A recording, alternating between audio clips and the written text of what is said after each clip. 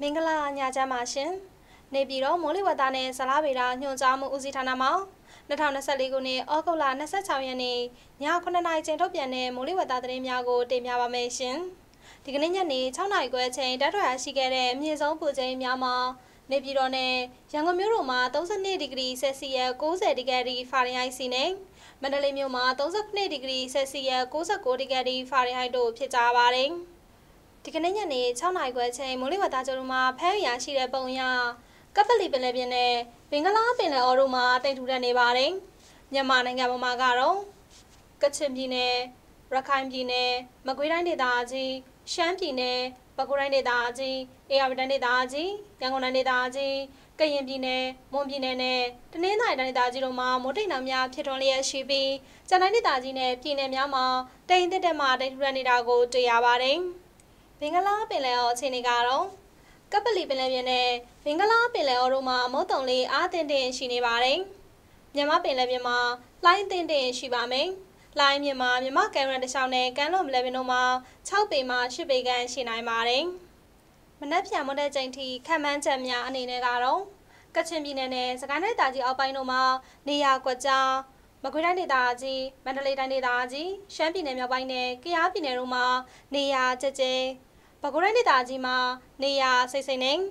စကိုင်းတိုင်းဒေသကြီးထပ်ပိုင်းချင်းပြည်နယ်ရခိုင်ပြည်နယ်နေပြည်တော်ရှမ်းပြည်နယ်တောင်ပိုင်းအရှေ့ပိုင်းအေရပြည်တိုင်းဒေသကြီးရန်ကုန်တိုင်းဒေသကြီးကရင်ပြည်နယ်မွန်ပြည်နယ်နဲ့တနင်္သာရီတိုင်းဒေသကြီးတို့မှာနေရာအနှံ့ပြမိုးထစ်ချုံရပြီးရခိုင်ပြည်နယ်မကွေးတိုင်းဒေသကြီးကရင်ပြည်နယ်နဲ့မွန်ပြည်နယ်တို့မှာနေရာကွက်၍မိုးကျင်နိုင်ပါတယ်။နေပြည်တော်နဲ့အနီးတစ်ဝိုက်မနက်ဖြန်အတွက်မိုးလေဝသအခြေအနေခန့်မှန်းကြမှာ နေရာကွက်ကြားမိုးထစ်ချုံရွာပါမယ်။အမြင့်ဆုံးပူချိန်မှာ32ဒီဂရီဆယ်စီယပ်90ဒီဂရီဖာရင်ဟိုက်နဲ့အနိမ့်ဆုံးပူချိန်မှာ25ဒီဂရီဆယ်စီယပ်89ဒီဂရီဖာရင်ဟိုက်ရှိနိုင်ပါတယ်။ရန်ကုန်မြို့နယ်အနီးတစ်ဝိုက်မနက်ဖြန်အတွက်မိုးလေဝသအခြေအနေခန့်မှန်းကြမှာလဲ။နေရာကွက်ကြားမိုးထစ်ချုံရွာပါမယ်။အမြင့်ဆုံးပူချိန်မှာ31ဒီဂရီဆယ်စီယပ်88ဒီဂရီဖာရင်ဟိုက်နဲ့ အနိမ့်ဆုံးပူချိန်မှာ24ဒီဂရီဆယ်စီယပ်85ဒီဂရီဖာရင်ဟိုက်ရှိနိုင်ပါတယ်။မန္တလေးမြို့နယ်အနီးတစ်ဝိုင်းမနက်ဖြန်အတွက်မိုးလေဝသအခြေအနေခန့်မှန်းကြမှာလဲ။နေရာကွက်ကြားမိုးထစ်ချုံရွာပါမယ်။အမြင့်ဆုံးပူချိန်မှာ36ဒီဂရီဆယ်စီယပ်69ဒီဂရီဖာရင်ဟိုက်နဲ့အနိမ့်ဆုံးပူချိန်မှာ26ဒီဂရီဆယ်စီယပ်89ဒီဂရီဖာရင်ဟိုက်ရှိနိုင်ပါတယ်။နောက်နေ့အတွက်ခန့်မှန်းချက်များအနေနဲ့ကတော့ ရှမ်းပြည်နယ်၊ကရင်ပြည်နယ်၊မွန်ပြည်နယ်နဲ့တနင်္သာရီတိုင်းသားကြီးတို့မှာမိုးပိုလာနိုင်ပါတယ်။ရေကြီးမှုအခြေအနေတဲ့တန်လွင်မြင့်စိုးရင်မနိုင်တရှိနေမှုအခြေအနေဒီကနေ့မနက်မြန်မာစံတော်ချိန်9နာရီခွဲချိန်တိုက်ထွာချက်အရတန်လွင်မြင့်ဟာဖအံမြို့မှာရင်းမြို့ရဲ့စိုးရင်မတ်24.6တစ်ပေ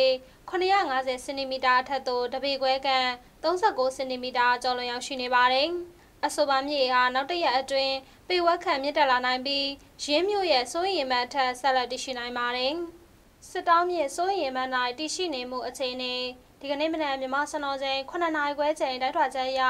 စစ်တောင်းမြေဟာမထောက်မြို့မှာရင်းမြို့ရဲ့စိုးရင်မှတ်35.13ညပေး1080စင်တီမီတာအထက်သို့တပေကန်26စင်တီမီတာကျော်လွန်ရောက်ရှိနေပါတယ်။အဆိုပါမြေဟာနောက်တရက်အတွင်း တလက်မခန့်ကျဆင်းလာနိုင်ပြီးရင်းမြို့ရဲ့စိုးရင်မှတ်ထက်ဆက်လက်တရှိနိုင်ပါတယ်။အကြံပြုချက်သို့ဖြစ်ပါ၍ဖအံမြို့နယ်နဲ့မထောင်မြို့အတွင်းရှိမြေကန်အနီးနဲ့မြေနေပိုင်းနေထိုင်သူများအနေဖြင့်အထူးသတိပြုနေထိုင်ကြပါရန်အကြံပြုအပ်ပါတယ်။ရေကြီးမှုအခြေအနေတဲ့ စစ်တောင်းမြေစိုးရင်မှတ်၌တည်ရှိနေမှုအခြေအနေဒီကနေ့မနက်မြန်မာစံတော်ချိန်9နာရီခွဲချိန်တိုင်းထွာချက်အရစစ်တောင်းမြေဟာတောင်ကူမြို့မှာရင်းမြို့ရဲ့စိုးရင်မှတ်19.68ပေ600စင်တီမီတာသို့ရောက်ရှိနေပါတယ်။အဆိုပါမြေဟာနောက်တရက်အတွင်းပေဝက်ခံမြင့်တက်လာနိုင်ပြီးရင်းမြို့ရဲ့စိုးရင်မှတ်အထက်ဆက်လက်တည်ရှိနိုင်ပါတယ်။အကြံပြုချက် သို့ဖြစ်ပါ၍တောင်ငူမြို့နယ်အတွင်းရှိမြေကန်အနီးနဲ့မြေနေပိုင်းနေထိုင်သူများအနေဖြင့်အထူးသတိပြုနေထိုင်ကြပါရန်အကြံပြုအပ်ပါတယ်။ရေကြီးခြင်းတတိပေးချက်ဒီကနေ့မြမစံတော်ချိန်73:30နာရီချိန်တိုက်ထွာချက်အရဒုထဝရီမြေဟာမြင့်ငယ်မြို့မှာရင်းမြို့ရဲ့စိုးရင်မှတ်28.54ပေ880စင်တီမီတာအောက်နှစ်ပေခွဲခန့်80စင်တီမီတာမှာရောက်ရှိနေပါတယ်။အဆိုပါမြေဟာနောက်တရက်အတွင်းရင်းမြို့ရဲ့စိုးရင်မှတ်သို့ရောက်ရှိနိုင်ပါတယ်။ တို့ဖြစ်ပါ၍မြင့်ငယ်မျိုးအတွင်းရှိမြေကမ်းအနီးနဲ့မြေနေပိုင်းနေထိုင်သူများအနေဖြင့်အထူးသတိပြုနေထိုင်ကြပါရန်အကြံပြုအပ်ပါတယ်။အခုတင်ပြခဲ့တာကတော့ဒီကနေ့ည9နာရီချိန်ထုတ်ပြန်တဲ့မိုးလေဝသသတင်းများပဲဖြစ်ပါတယ်။ကိုစိတ်နှဖျားကျမ်းမာချမ်းသာကြပါစေရှင်။